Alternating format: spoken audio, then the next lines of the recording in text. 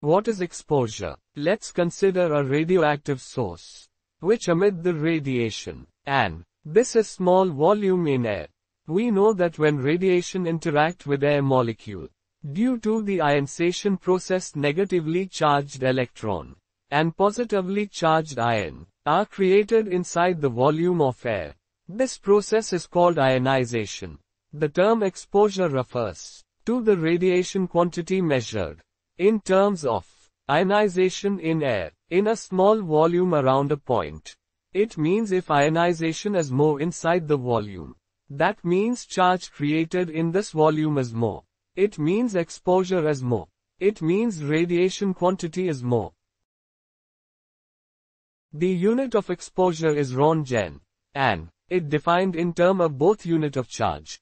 One Roentgen shall be the quantity of X-ray or gamma radiation that produce the ion, carrying 1 ESU of charge, of either sign, in per 0.001293 gram of air. If the air volume is 1 cc, having mass, 0.001293 gram of air, and when radiation interact with this volume due to ionization, the charge produced inside the volume of air is equal to 1 ESU, which is equal to the 1 Roentgen.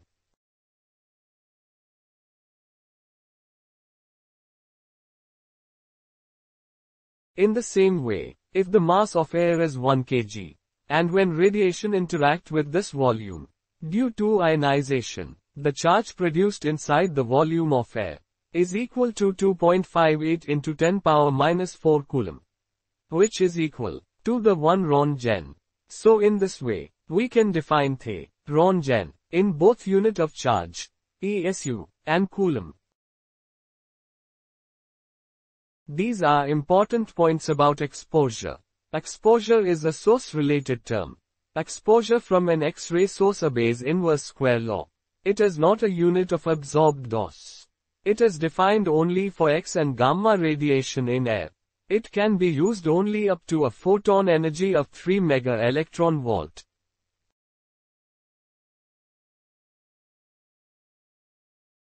Now we discuss about KERMA. KERMA stands for kinetic energy released in the medium which describes the initial interaction of the photon with an atom that take place in medium.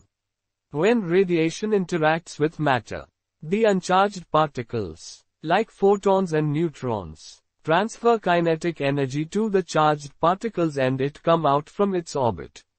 For example if the incident photon having initial energy E, and binding energy of orbital electron B, and ejected electron having kinetic energy Ke. Here kinetic energy is equal to incident photon energy minus binding energy. Here initial kinetic energy of the ejected charged particle is equal to the amount of energy transfer from an uncharged particle. Let's consider a medium having 1 kg mass and a radiate with uncharged particle like X-ray gamma ray.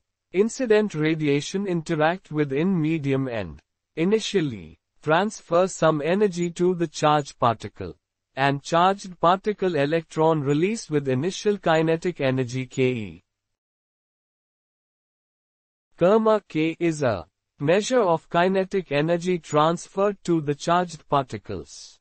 It is defined as sum of the initial kinetic energy of all charged ionizing particles, which is liberated by incident photons in a material of unit mass, is called as Kerma. The unit for Kerma is joule per kilogram. The SI unit is Gray. And special unit as rad. It quantifies the average amount of energy transferred in a small volume from the indirectly ionizing radiation to directly ionizing radiation without concerns to what happens after this transfer. The energy transferred to electrons by photons can be expended in two distinct ways. Through collision interactions. Through radiative interactions. The total Kerma is therefore usually divided into two components. Collision Kerma and radiation Kerma.